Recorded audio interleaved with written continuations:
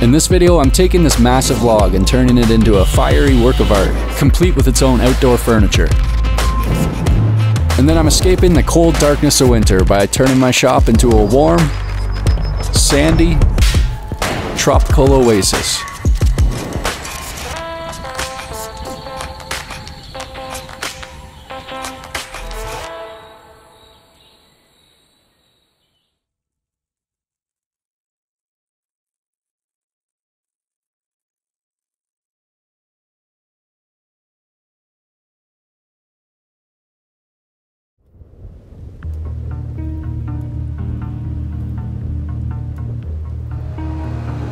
So to start off this build, I have this log that's been sitting outside my dad's shop for a few months.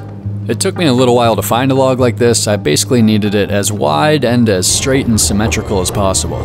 After talking to a few places, one of my friends had one of these ash logs sitting in the yard and it was about as straight and good as I could find anywhere. And it only cost me a few hundred bucks. So I have to get this over to my shop, which is about a 10 minute drive by car away, so I'm just using some of the equipment my dad has sitting in the yard right now to juggle this over there.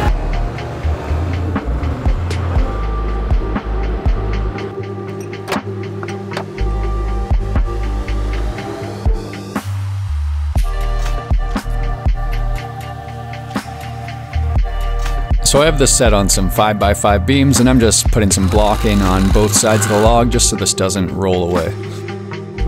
And then I took a crappy little low pressure pressure washer just to give this a good rinse off.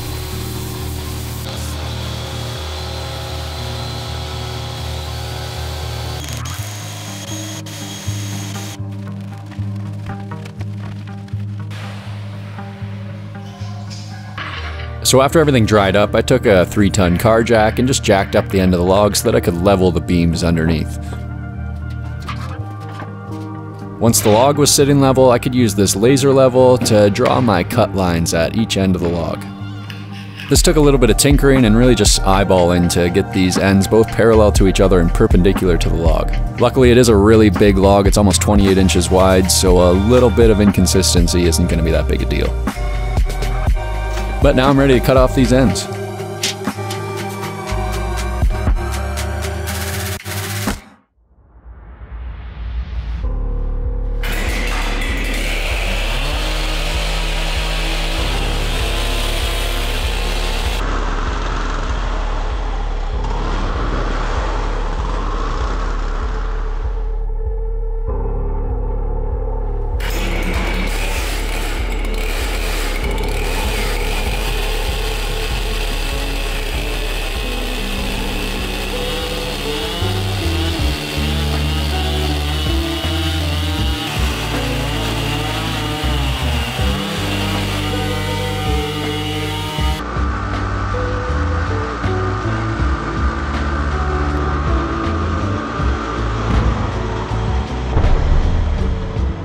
So I used a 32 inch chainsaw I borrowed from a friend to make the cut on both ends and it cut through that log like butter.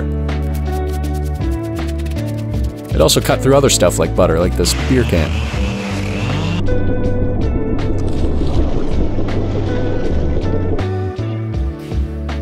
So now I'm making up the legs that are gonna hold this log. So I have this 2 by 4 inch by 1 8 inch thickness steel tubing and I'll just be cutting this tube in with some 45 degree angles to basically make a square. So with my cheap and handy chop saw, I just set the fence with a 45 degree angle using my square, and then started cutting through my tubing.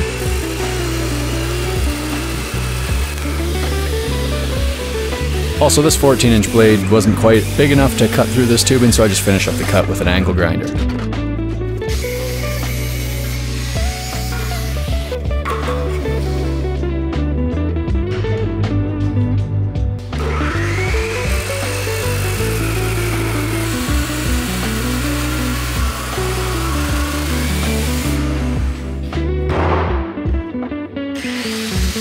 With all the cuts made, I just use an angle grinder to clean up the edges and also grind away any inconsistencies so that the 45 degrees fit together as nice as I could make them.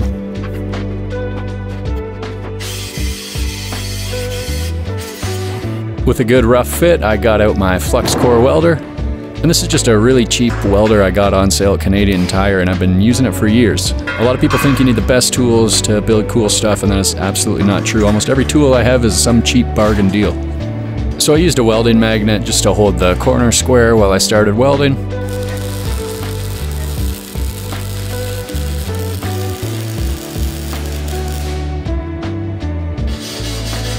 And then I just went around the frame completing the welds.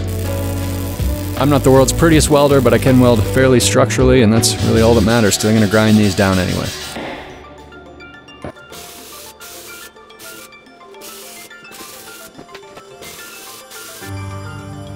So with one of my squares fully welded, I just got out a grinding disc for my angle grinder and just grinded these flush.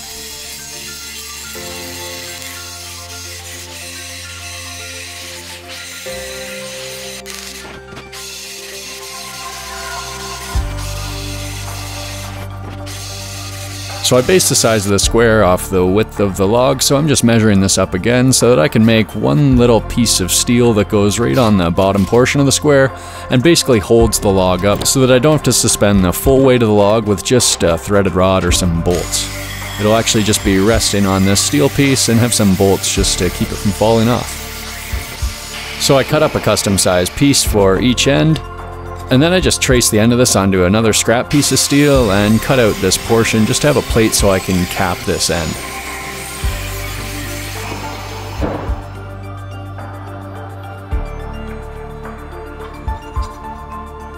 So then I went ahead and welded that plate onto one end of the tubing.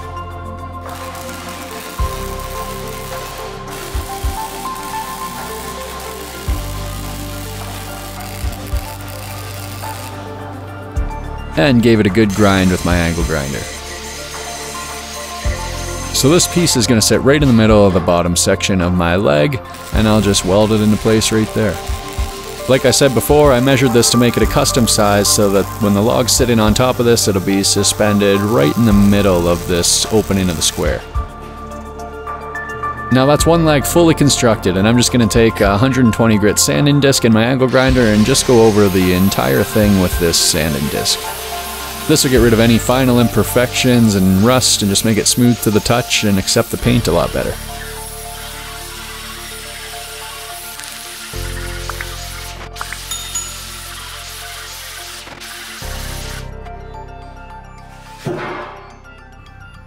So now that I have one leg pretty much ready to go, I have to build another one the exact same.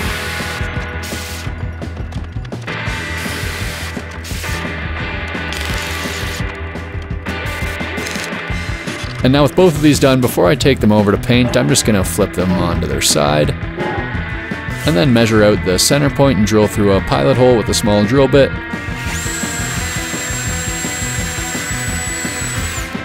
And then drill through with a half inch drill bit. I'm drilling these holes through both sides of the steel so that I can pass some bolts clean through here and use them to position the log. I have some big long galvanized bolts that I'm going to use for this, but we'll get to that in a second. First, it's time to paint these legs. So I just have some regular Tremclad primer and I'm first gonna prime the steel. I did a few really thin coats of primer and you can actually get a really professional look even just with this regular Tremclad spray paint. Really all you have to do is just know that it's going to take you a few coats and that way you don't overload the paint and get a bunch of runs. This stuff dries up pretty quick so you can do another coat like 10 minutes later. And with the primer fully done, I just have some semi-gloss black and that's going to be my finished color.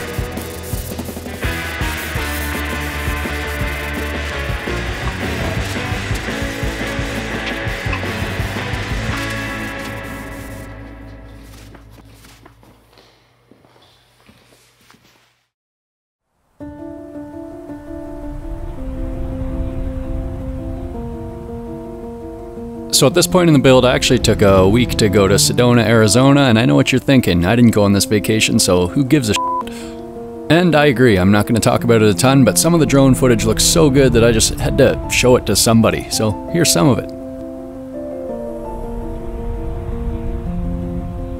You guys are really the only people that think what I do is awesome, so let me know in the comments below if you want more outtakes of just my regular life in these videos. And now back to reality. So before I install these legs, I'm just drilling a hole in the bottom and then installing these rubber feet. You also notice I drilled a weep hole here before I painted, that's just to let any water out that happens to make its way inside of the steel tubing. So to install a leg, first I jacked up the log with the car jack, and then I just slipped the leg over the end and let the log rest down on that pedestal I welded on. Then I spent a good amount of time measuring and making sure this was as square to the log as possible and that the log was shooting right down the middle of the square. So now I have these half inch by 10 inch galvanized leg bolts so first I took a quarter inch drill bit and just drilled a pilot hole for this bolt.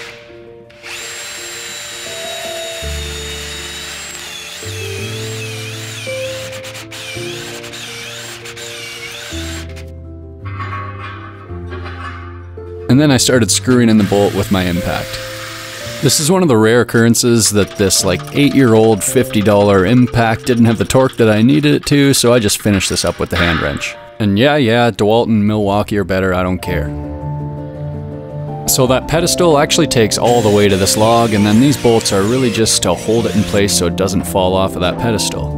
My original idea was going to be to use threaded rod and pass a hole clean through the log and actually suspend it with the threaded rod, but I figured this pedestal and bolt method would be a lot easier and a lot less pressure on me to drill a perfectly straight 30 inch hole through a log.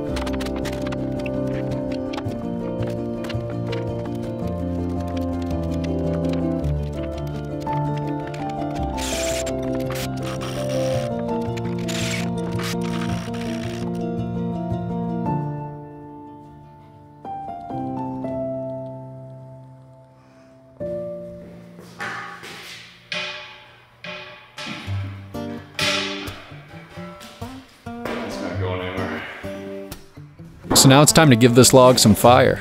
So I have this 60 inch by 8 inch propane fireplace insert that I'm going to carve into this log.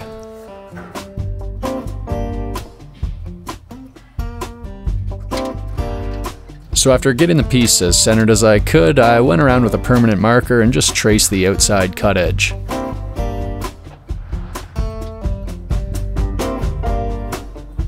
And then to cut this out, I'm gonna use a bunch of passes with my 12 inch battery powered chainsaw I got for Christmas.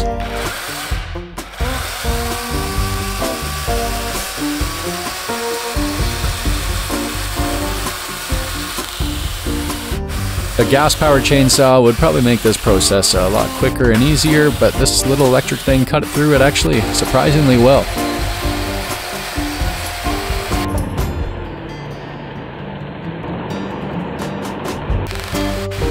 So the idea of this is I'm cutting this wood into a bunch of thin strips inside of that tracing.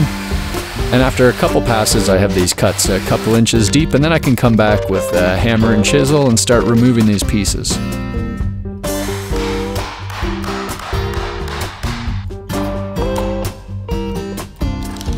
The first couple are always the hardest to get out, but after that you have a little more room to work and you can pop the rest out fairly quickly. It's a pretty quick way to remove a lot of wood material in short order. Carving this whole thing out took probably a couple hours.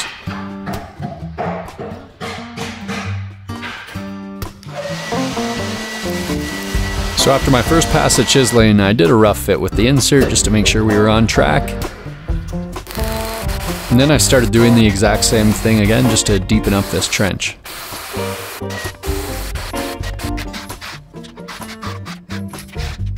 After three passes, I had this probably four inches deep, and that should be deep enough for the majority of this trench.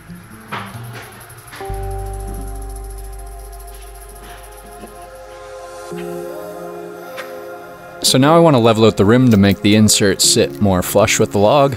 So I propped up this laser level and then I'm just using a permanent marker to trace that line.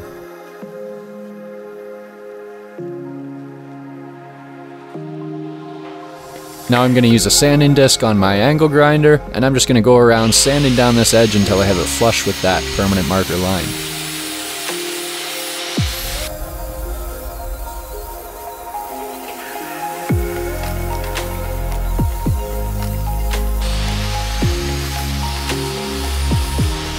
This was a pretty time consuming process and probably the messiest thing I've done since I routed out the LED lights in my lava table. This makes a really fine dust that got to every single corner of my shop.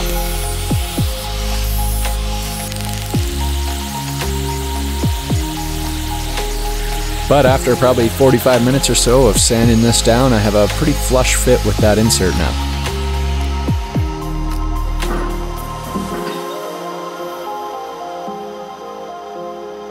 So now I want to install this control plate so that I can ignite the fire and control the propane flow right from this panel. So I marked out its positioning and then I'm just carving this back in with the 12 inch chainsaw so that there's basically just like this thin plate of wood that this mounting plate will be mounted onto.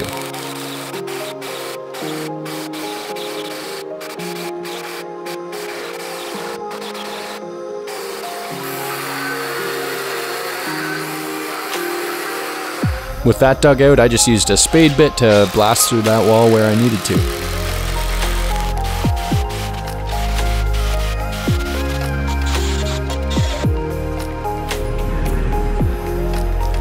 Then with a quick leveling of the bark, that mounting plate sits on here pretty flush.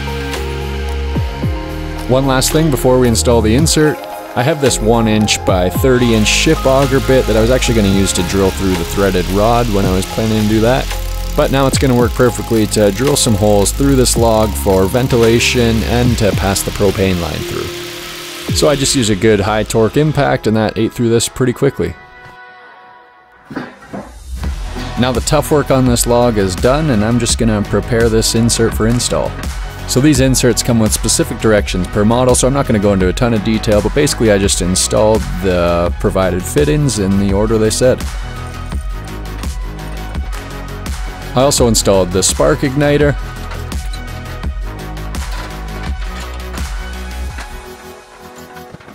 And then this grounding wire also has to be installed somewhere along the pan, so I just used one of the bolts of the spark igniter and bolted it on there. Then I can plug in the two wires from the igniter over to the button and install that in the mounting plate and we have spark. Next I can install the propane flow control valve so I just threaded that into its position in the mounting plate, and then this key will be used to control the flow. And basically one hose will be screwed in here that supplies the pan with propane after the valve, and the other side will get the supply hose straight from the propane tank. Now let's install that all inside the log.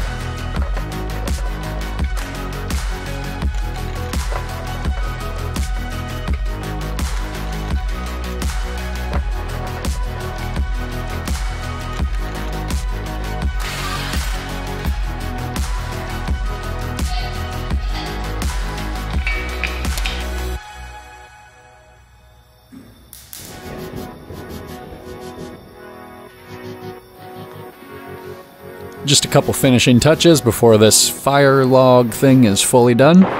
I use some leftover UV protection oil to oil up the ends and the top so they don't gray off so quickly, and it gives them a little more vibrance and life. By the way, this oil came from my tiny house exterior build video, and there's a ton of people asking me when I'm going to be working on that again, and once this video's out, I'll be starting the interior of that.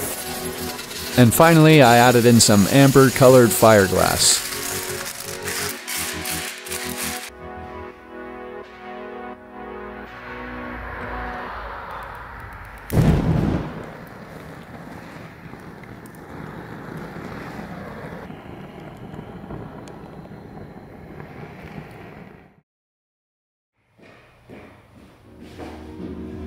So now I'm going to be making a patio set to go with this table, and to start off I have these clear cedar 4x4s. And 4x4s are 3.5 inches, but I'm actually going to plane this down in width and bring it to about 3 inches just so that it doesn't look like a standard stockyard 4x4. Anybody that builds stuff knows the rough dimension of a 4x4 and a 2x4 just by eye. So if I plane it down to 3 inches, it's going to look a lot more like a custom piece of wood rather than just a 4x4. This is really just personal preference, you wouldn't have to plane these at all, you could just use the 4x4s as is if you wanted. But hey, you know me, I love doing extra work.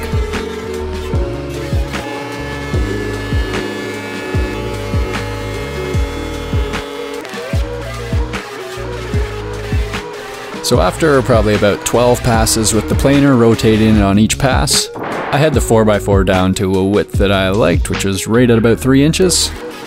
And now I just have to do this to the 11 other 4x4s.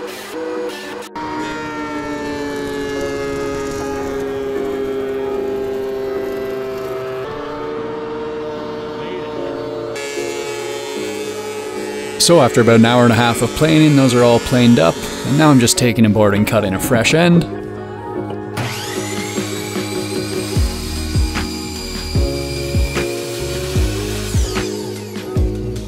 And then I'm measuring out my first piece. So this piece is going to have a 45 degree angle, so I adjusted my miter saw. And then I just started a little bit outside and inched up on that line to complete a perfect cut.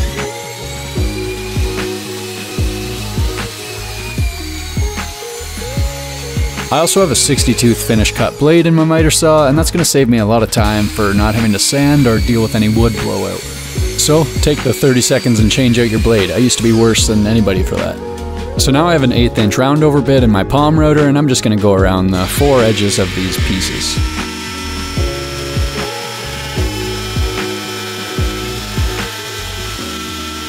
This is barely any roundover at all, it's really just an alternative to a hand sand edge, but it looks a lot more consistent and professional. And it's quicker. So these first three pieces are going to connect together in this U shape. So to connect them, first I'm marking out some hole placement with my square, and then I'm using a 3 8 inch Forstner bit just to countersink these holes a half inch or so.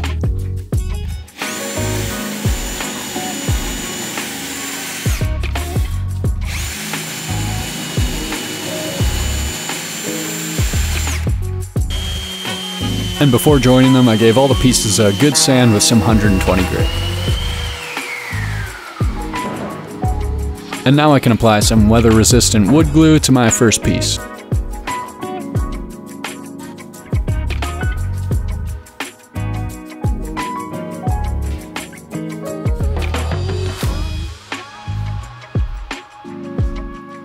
To fasten these rigidly and really clamp down the glue, I'm just using some 3.5 inch number 10 deck screws.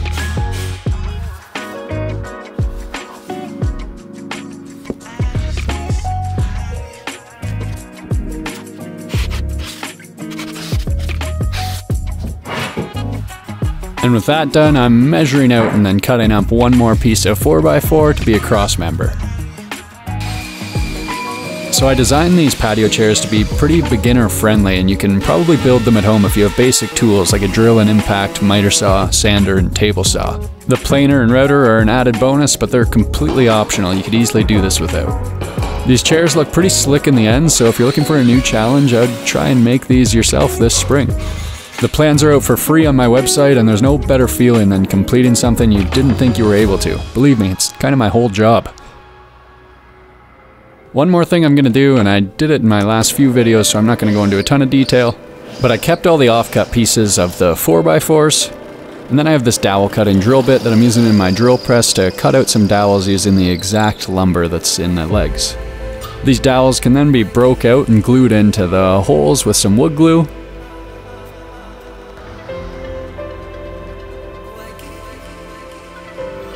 and I used a little bit of extra sawdust just to fill in the gaps.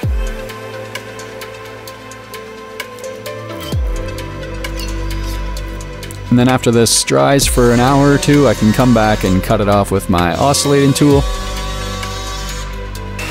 And sand the dowel flush for a pretty sleek connection.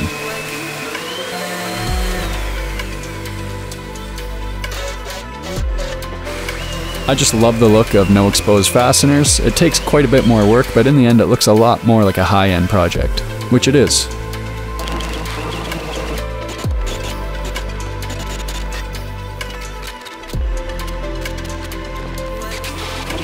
So with my second leg made up, I can start on making my seat and backrest. So all the lumber for this I'm going to be cutting out of some clear 2x4s I have left over from my sauna build. So using my table saw, I'm just ripping the rounded edge off, and then cutting the 2x4 into two 1.5 inch squares.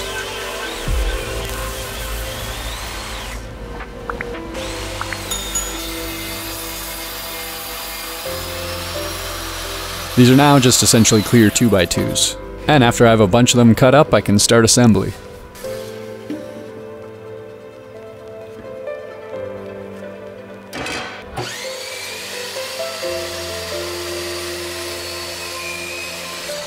So I cut some pieces with some 45 degree miters and I'm basically just assembling this rectangle.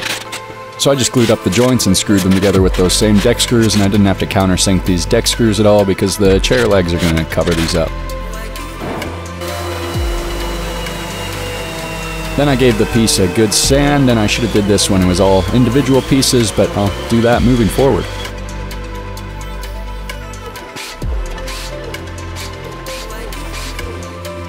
Then I cut up a bunch of these same length 2x2s and sanded them and routed them so they're ready for install.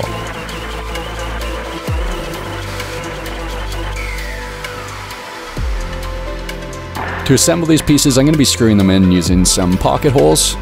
So I have this handy little clamp down jig that makes drilling pocket holes super quick and easy. I basically just clamp this down on the end of the piece, and then using the provided drill bit and two of the hole templates, I just drill in two pocket holes.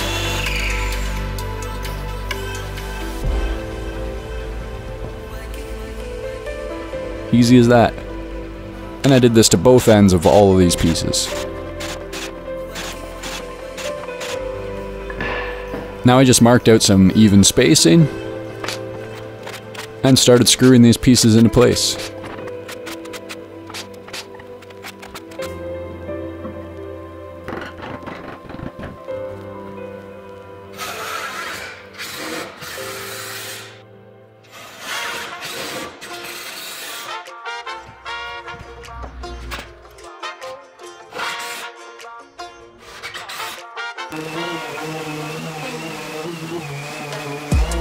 That all assembled, I gave the piece a quick sand and that's a finished seat. Now I'm just making up one more of these the exact same way with slightly different dimensions that's going to be the backrest.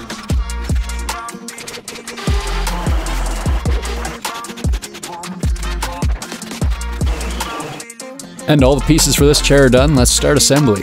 So with one of the legs laid out flat, I put the seat portion in place, and I just align this on a little bit of an angle so it has a more natural sitting position than if it was flat. And then I just screwed the seat right into the leg using some 3 inch deck screws and I used probably 7 or 8 of these because they're going to be taking all the load of this seat. Then I added on the second leg in the exact same way, just upside down and stood it up.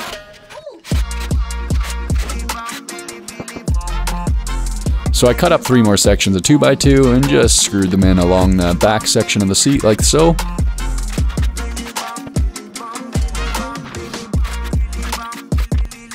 And now I can pop in this backrest and I just kind of fidgeted around with it until it had an angle that seemed right.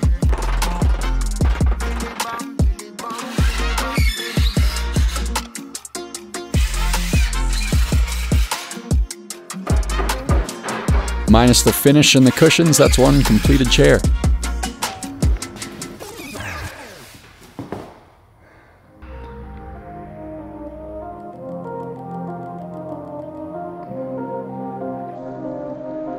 Now I'm building up one more chair in the exact same way.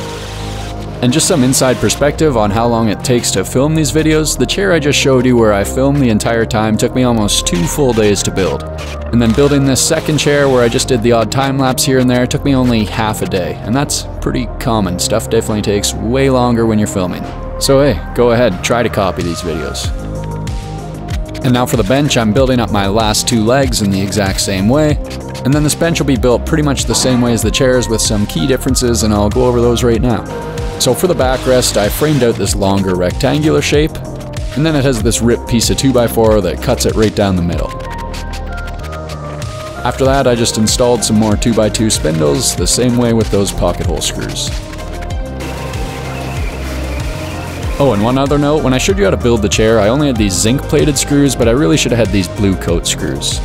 The zinc isn't rated for outdoor use, but that's all the store had the day I was filming, so I just put them in temporarily and now I'm swapping all those out. But just build them with the blue ones, save yourself the work. So now for the bench, I'm planing down some more 4x4s to that same 3 inch thickness.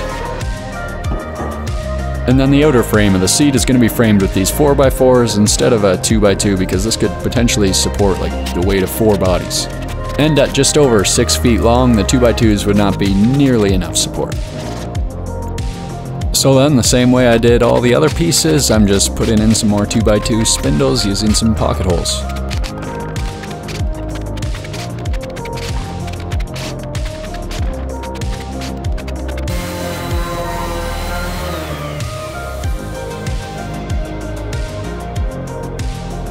And that's a completed seat, time to assemble this bench. So I just screwed on the legs the same way I did on the chairs. The only difference with this one is I'm actually going to use a couple of these 5.5 inch long structural lag bolts.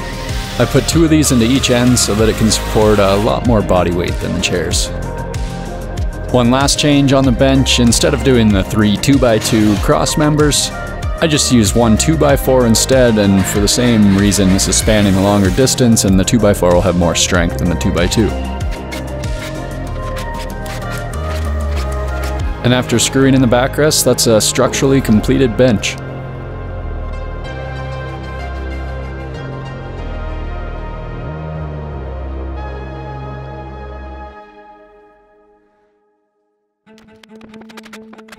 So one last thing to build for this patio set, I'm going to make this little end table that also doubles as a cover for the propane. So I use some 4x4s and some 2x4s just to make up the main frame for the end table. And then I just have some off-cut pieces of cedar and I'm screwing these into the 4x4s to be a backer board for some paneling I'm going to nail in here. So I have a bunch of these clear cedar tongue and groove short off-cut pieces from my sauna build. And I'm just cutting up some of these to the right length. Then I can use my 15 gauge nailer and just run these along those backer boards I just installed to close in this end table.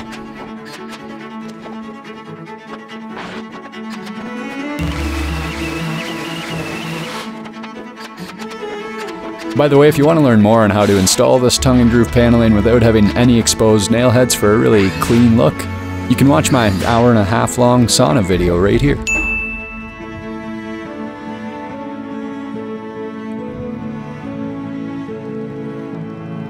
So now I'm going to make a tabletop, so I just have some cut up pieces of clear cedar 2x6, and I'm just going to join these together with the factory edge because it's fairly square and I don't have a jointer to make this any better. So I drilled in some pocket holes and then I'm going to use some pocket hole screws and some glue to hold these together. I also made the pieces of 2x6 a few inches too long so that I could just cut the whole thing to my final dimension as one piece. This will ensure a perfectly flush edge. By the way, if you don't have some sort of track jig for your circular saw, you're missing out on a whole world. It makes straight cuts super fast and easy and it's honestly one of my most used tools. With the tabletop cut to its final size, I just gave it a good sand with some 120 grit and put that same 8th inch round over bit around all the edges. So instead of rigidly securing the tabletop, I'm going to put this on a couple hinges. So I just traced on a rough hinge location, and then I'm using a straight flute bit in my palm router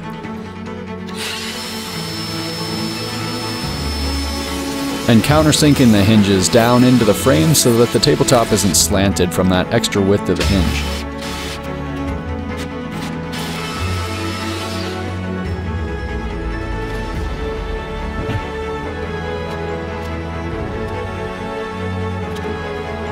And then I can screw the tabletop into the other side of the hinges and I have a fully accessible propane end table.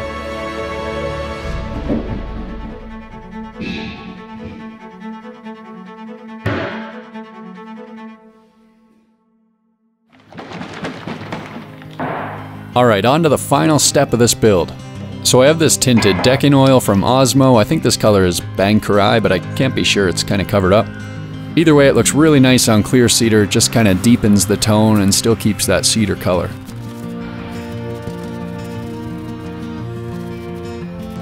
So I applied this over all of my pieces, just laying it on liberally with a stain applicator brush, and then after it soaked in for about 20 minutes, I'd just come back with some shop towels and just wipe away as much of the excess as possible.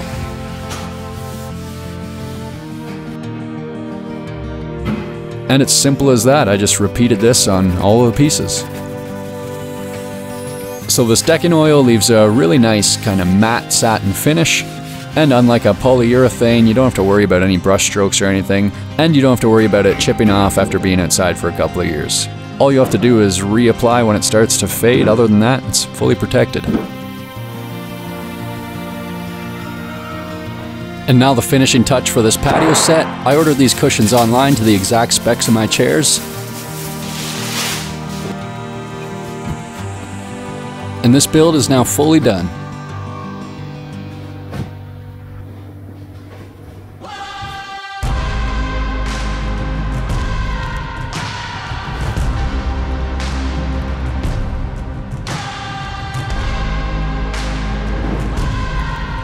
So normally I'd just take this in my backyard and do a real world shoot for the ending. But this channel is all about progression and growth, so instead of bringing this to nature, I'm going to pull a real YouTube move and bring nature to my shop.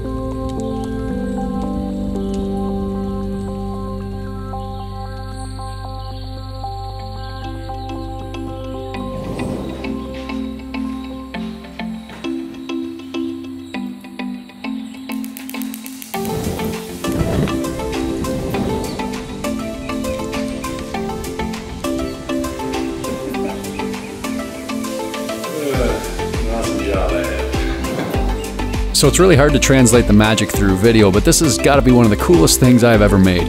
When you're sitting in here, it legitimately feels like you're at some Caribbean beach resort thanks to over 70 plants, about half artificial and half real. And some added sound effects makes it even more immersive. Of course, this setup is only temporary because I'm going to need my shop back, but for a few weeks, this is an amazing way to escape the grayest time of the year. But like everything, it's best enjoyed among friends.